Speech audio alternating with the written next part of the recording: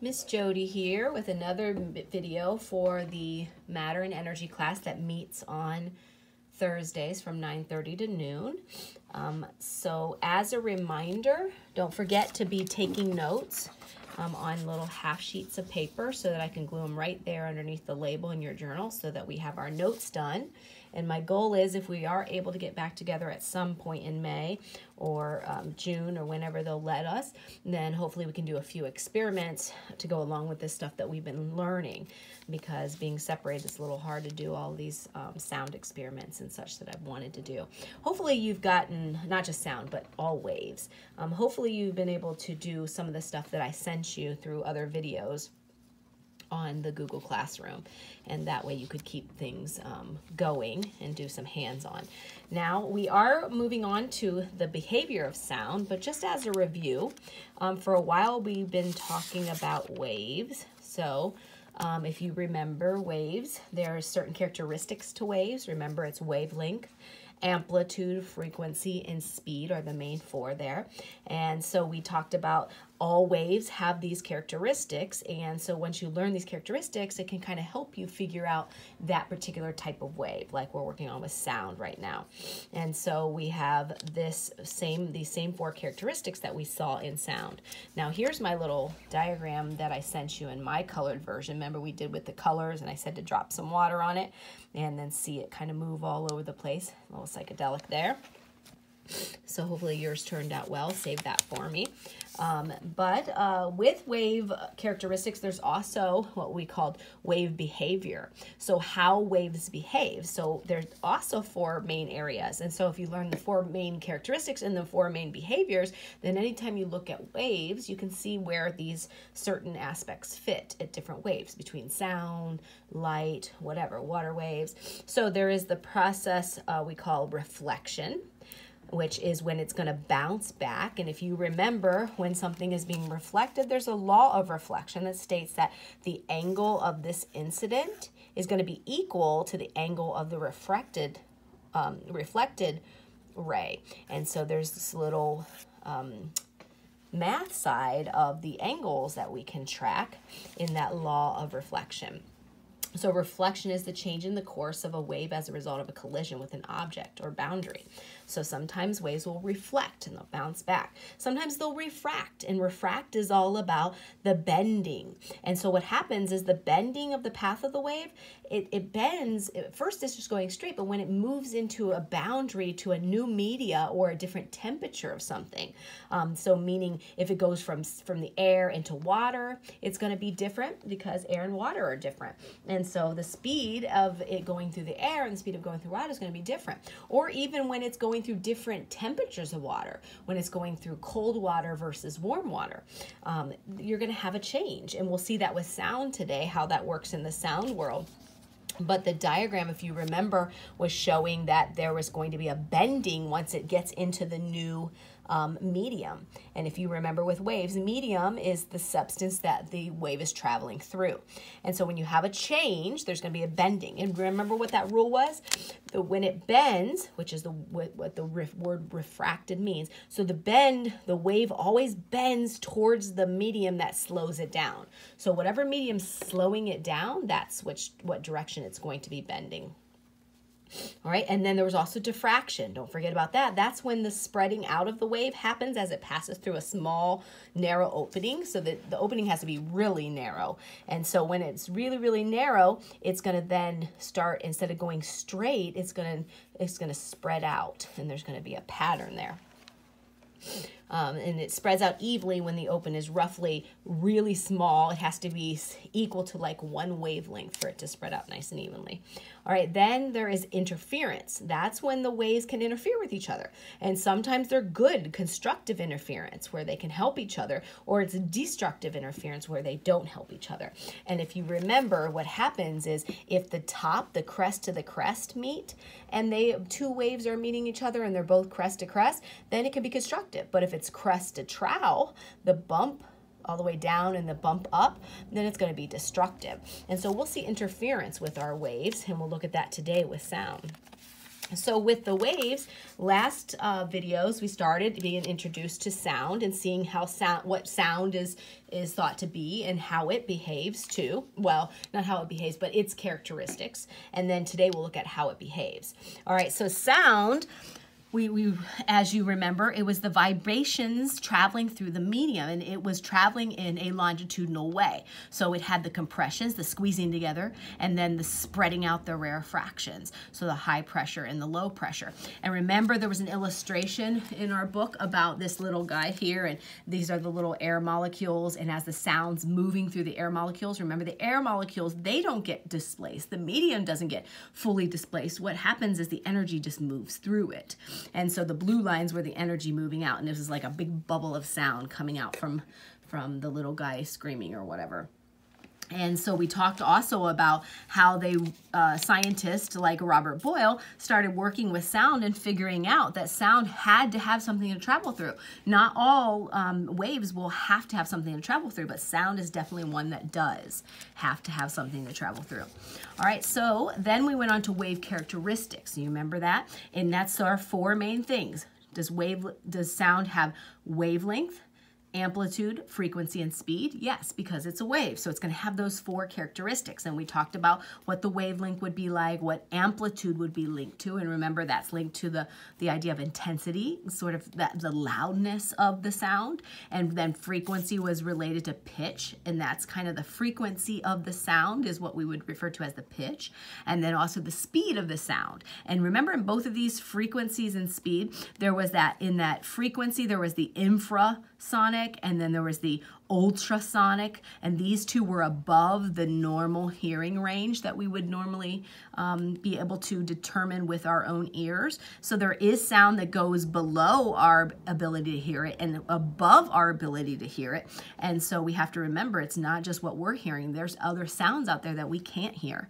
And then when it came to the speed of sound, we also talked about that, and that the speed of sound, again, it's going to vary because it's depending on what it's going through in that process of refraction that bending, but we had the regular, what we would say the regular speed of sound, um, and there's like a standard here that we would put at a, at a um, zero degrees Celsius, um, say for um, dry air. And then there is, if you go above that speed of sound, then you would be supersonic, or if you go below it, you'd be subsonic. So remember that. So that was characteristics of sound. Remember I told you to, to um, do this little um, picture here and illustrate that a little bit, color those a little nice, then that helps us understand that there is some risk to sound and we, we have to be careful because sound, it, um, too much of it uh, would, would cause some problems. And so we have to watch um, the, the um, intensity of the sound.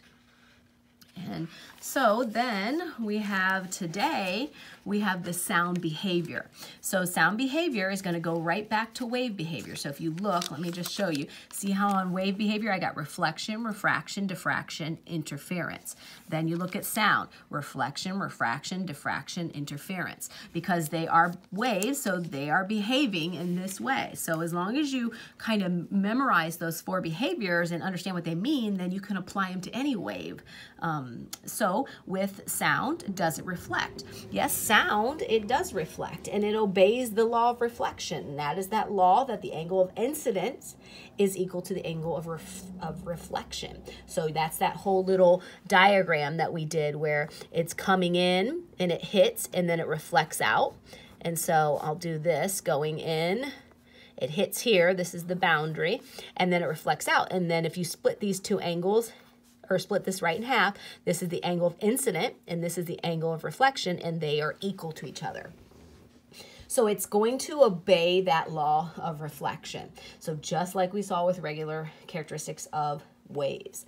Now, sound reflection occurs all the time. Now, this is important for us to know because it's all around us. In every room, you have sound bouncing off of things and coming back. And you think to yourself, but if it's doing that, why don't I just constantly hear all these crazy sounds flying back at me and it just sound like a bunch of ball of craziness, right? Well, that's because you can barely notice it because of the distance between you and the the, the um, surface it's bouncing off, like the walls or whatever. Because if it's less than when the sound is is returning, if it's and going and bouncing off and then returning back, if it's less than 0.1 seconds apart, okay, so I, I say a sound, it goes, it goes flying, it hits the wall, and then it comes back to me. If it's less than this amount apart, meaning the first sound is not 0.1 seconds apart from the second sound coming back to my ears, then my ears are just going to hear it as one sound because it wasn't enough um, uh, time for my ear to calculate two sounds there. So my ear just calculates one. That's all my ear thinks it heard. Then went down, it bounced off the wall and came back. My ear thought it heard just one sound that's in the room.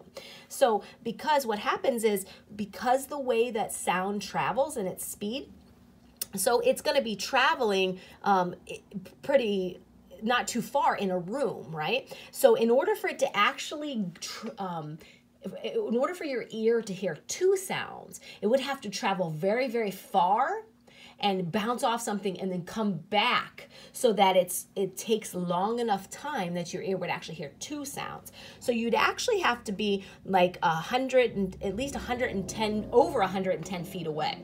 So the surface that it's going to bounce off. Okay, so in my room, my surface is right next to me, so it's not even you know six feet.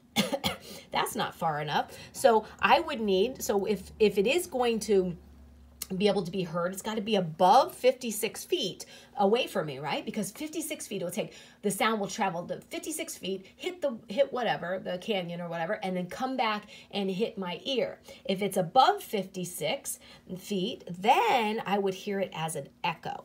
And so that's because of how fast it's it's moving. So if it's more um, if it's less than 0.1 seconds apart because it's too fast, the wall's too close to me, I won't hear it. But if it's more than 0.1 seconds apart, with say I'm in a canyon and I make my sound and it goes way, way, way, way, way, way far, and then it hits the wall of the canyon and then it comes way back to me. If it's more than 56 feet away, let's say it's, you know, two um, 200 feet away, then when that sound gets back to me, because it's traveling and it's traveling at a certain speed, by the time it gets back to me, I hear it as a second sound, not my first sound. And so that creates what we call the echo world. So you know, you've been in times when you um, and, and, you'll see the little diagram that I sent you has the same sort of four areas that we're working on with wave behavior. And so with this diagram, I'm representing here at the top, the first one, the reflection. So see how I have the little yellow um, sound? So this is me screaming out or whatever or somebody screaming out. And so we're screaming out, it hits the wall, and then when it hits the wall, it's got to reflect back, and as it's coming back to me, then I will hear it all as one sound if it's really, really close together. But say I could separate, because it's too fast. It comes right back too fast. It's, it's under the amount of time that I would hear a different sound. But let's say I stretch this out to a big giant canyon and then it goes all the way down and and then all the way back to me. By the time that all the way back to me gets there it's a little bit later and so my ear has the chance to hear the second sound. It's not so like click right at the same time. And so then i can create all these cool um, echoes in big spaced out areas, right? And so they say like canyons, big gymnasiums or whatever. They said in our book that there was a place in Woodstock, England that um, is really famous for its echoes. And it says that you can say, ha, and it will re- it'll echo back sometimes up to 17 times and it will sound like this ha like you're laughing and you're saying ha ha ha ha ha. So I think that's pretty cool, right? And I'm sure you've had opportunities to do echoes in certain caves or canyons and hiking and stuff like that. Now, with the sound of um, or the situation with reflection, you also can use this in the um, technology of sonar. And so sonar stands for um, S, it's sonars, S-O-N-A-R. It stands for sound, navigation, and ranging. So sound, navigation, and ranging. And so sonar is what uh, ships use, um, submarines use it. There's a lot of uses for the sonar, and all it's basically doing is this same situation. So it's going to be sending off the sound down through the water, and then the water if there's something underneath it, like a submarine that it's looking for or whatnot, or if it's mapping the bottom of the ocean, and then it will bounce it back up. And because we can determine the speed of the sound through the water, through the media, then we can determine how far away something is. And this is what they're actually using for mapping the bottom of the ocean um, that they're doing right now, the project that's done by NOAA, the um, National um, aquatic maybe. I forget what NOAA stands for. Um, something something but i'm sending you a video on it and it's showing how they are using that sonar to map the oceans so that's super cool okay so that is the behavior of reflection now with reflection we also have a refraction. And remember, that's when it gets bent. So this is when it reflects back. This is when it gets bent. And so we have to remember that the speed is not constant. The wave speed of sound or whatever is not constant. And because it varies depending on which media, which means whatever substance is going through, and then also which temperature um, of the substance, because the temperature, temperature can change it. And so remember the rule when we talked about wave behavior, it always bends towards the medium that slows it down. So whoever's going to slow it down is going to make it bend towards it. And so I have a similar diagram like we did when we were doing wave behavior, but this representing sound, the behavior of sound. And I can do the same thing here. Um, let me get a, a little orange. Let me see if I can find a, an orange crayon here. Oh, that's kind of purplish, but that'll work. All right, so if I look at the diagram, the top of this first one, it says hot air, the faster sound speed. So I'm saying, okay, so say in my air, I have some really warm air up here at the top. So I'm making it red, pinkish, because I can't find a red. But so I'm making that warmer air, right? And in the bottom, I have colder air, which I'm making blue. So colder air is represented with the blue. So what happens is the sound tries to travel through, but there's a little change in the traveling, and that makes sense because as it's trying to travel through, it's going through different um, substances. So when it first starts out, let's say it's down here, and that's my sound source, and it's going through the cold air, and then um, which makes it slower. Now the reason it's slower is the air molecules are kind of squeezed together. Remember, the sound has to vibrate from one molecule to the next molecule to the next molecule, and so they're kind of more dense. And so it begins to, but then the moment the sound gets up here, when it's um, warmer, then it can kind of move faster. So it tries to move faster, and what it does in this top part up here is sort of creates this this little arc down towards the slower medium. So that's that rule is that it always bends towards the medium that slows it down. So you see that there? It's gonna be bending that way because it's gonna slow it down. And then we have the same picture here of opposite. If we end up having the um, cold air at the top. Like say you have a system of where cold air is up at the top and the warm air is more down towards the ground, then get my warm air down here or hot air, whatever. And um, so the hotter air, we know it's going to travel faster because those air molecules spread out. So they have a, they can kind of vibrate and then hit each other and then um, the vibrations can continue to pass, but they're kind of spread out a little bit more. So if the sound source is here and it's trying to move really, really fast, but then it starts hitting some of this um, as it's coming out, it starts hitting some of this cooler air, it's going to bend towards the one that slows it down. And the cool air slows it down, so it has to start bending towards that. And so that's that area of refraction, the bending of the waves through different substances.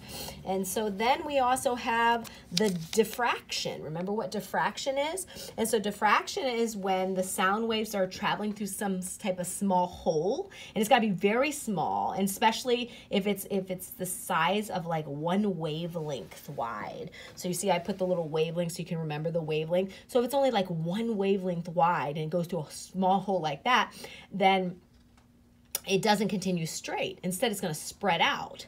And what's important about this is, is this allows sound to be heard um, and go around things like behind sound to be heard on the other side of the door like if you're listening really close and you're spying on your brother or sister not that i say that's a good idea but say you are um, and you're listening you have your ear by the door the reason you can hear any sound is that it can because sound can be diffracted. It can bend around or um, it can move through small holes and still continue on. And so here is the idea of the diffraction. And so if I have my sound here, my sound source, and then it begins to move out. And we have to remember that these lines are lines of squeezes and then um, spreading out and squeezes and spreading out and squeezes and spreading out. And so as they're going through in this longitudinal way, as it starts, there's that little hole. And so the sound will come through, the vibration will come through, and it will start its new pattern. And it will squeeze through and then it will start spreading out in its new pattern. And so the receiver is going to hear it a little bit differently, right? Because it's coming out in a different, um, it's not in that same pattern of the original uh, source. And so one thing to note is low frequency sounds. So low frequency means it's not frequently hitting you. So they're the longer wavelength sounds. So it's just lower amount of times hitting you? How frequent is it hitting you? Remember that? So low frequency sounds um, are good at, around large objects. They diffract diffract better. And so they can get around. So like a regular normal sound, like a regular voice, which is a low frequency sound, can get around objects. So like they say, if you're trying to to um, just talk to somebody and it's going to go around a door or it's going to go around, you know, if you're outside, they said something like if you're behind a tree or something, somebody's trying to talk to you, um, if low frequency will go around. But if you have really high frequency, really high, um, and they, they represent that with whispers, it's harder for those higher frequencies to get around those large objects. And so that's a a concept that fits with diffraction. And then we have interference. Remember what interference is? Is when the wave waves come together and collide. Now, when sound waves collide, they travel through each other without causing permanent distortion. So they don't like distort it in a sense of like how you would think it would, like in the refraction side of things. It's not that it gives permanent distortion but what happens is that there's times when these waves can come together and they will create with this interference a destructive interference where it will cause problems when a compression and a rarefaction of two different waves hit each other. And then um, if it's a compression or a compression hit each other from two different ways, that can actually be a constructive um, interference. So what happens is if you have the wrong two come together and that destructive, if, if it has the same magnitude, it can actually even cancel out the sound entirely if they're exactly the same um, magnitude but um, it's going to cause some problems. You're going to have some destruction, uh, destructive interference. But when it comes to compression to compression, constructive, or rarefaction to rarefaction, when they come together, because they are the same kind, they can actually help each other and constructively increase their wave um, and it amplifies it. It makes it kind of stronger in a sense. And so we can have both sides to the um, interference world of sound. So if you remember, and let me try to use two different colors so I don't use the, the yellow and the, the blue. Okay, so if I, I mean the yellow and the orange, if I look at this, this is supposed to be two speakers, okay? So I have two speakers, let's say at a concert or something like that, or a church and your acoustics, they have it all set up a certain way so that you have sounds that are um, real well done. Okay, so I'm to do my little dot, dot, dot one. See how it's coming out, dot, dot, dot. That's the rarefaction. That's the spreading out, right, of the longitudinal way, and wave. And then comes the squeeze together. I'm to do that in green, the compression. And then what do I have? I have a then spreading out. And then I've got squeeze together. And then I got spreading out. And these are the waves of the first speaker. Spreading out going at the same time and then squeeze together. Then on my other speaker, I have a similar pattern, I, obviously because they're both longitudinal waves. So I have my um, uh, spreading out, squeeze together, and spreading out, and then squeeze together. spread out. And you can just do this with whatever color and your you have on you, but just separating by two different colors because what it's going to do is help us see where it's constructive and where it's destructive. Now, constructive means that both of the types, uh, parts of the wave, they are the same if it's constructive. So if I look and I say, okay, the, um, the squeezing together of this wave is touching the squeezing together of this wave right here. So that will be constructive. So that can create constructive interference that can amplify the wave. Um, that's also meeting right here. You see it? So that's constructive. It's also meeting right here. And then it's meeting right here. And so whenever the meeting um, that of the compressions, then you have a you have a um, constructive. But then you can also see there's the meeting of the rarefactions. So here's a meeting of the rarefactions. That would be constructive, right? And so no matter whether it's um, rarefaction or compression, when you have the meeting of the same kind, that's when you would have the constructive. Now, if you have the two meeting of of two different kinds, like the green meeting with the yellow, like here, that's not going to be good, right? That's going to be destructive. So this would be our destructive side where a yellow and green would meet or whatever. Okay, and so the interference of the, the sound can be understood between the destructive side or the constructive side. And see what happens is sound um, scientists that figure these things out and then also sound um, engineers who then take the understanding of the science and they build stuff around it. They know how to use this science to create good sound for, like I said, churches and um, uh, concerts and all sorts of things. And so the very science that we understand and know can be used in such an applicable way, just like we see with the reflection. You know how reflection works, so then you create a sonar, right? And so it's pretty cool, all these things that we see similar among the different wave um, behaviors and specifically how they work with the behavior of sound. Now, our next video is also part of this lesson, and it's going to be um, on music. And so we're just going to talk a little bit about the music, and then we'll be done with this unit.